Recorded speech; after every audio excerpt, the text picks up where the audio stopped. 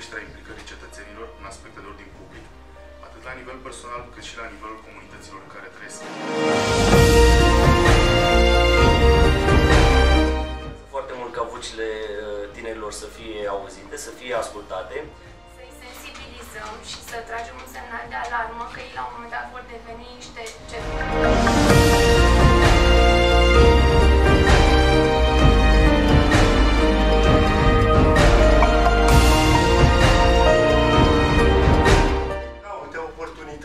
Și atunci acest serviciu Eurodesc este uh, vizitabil online.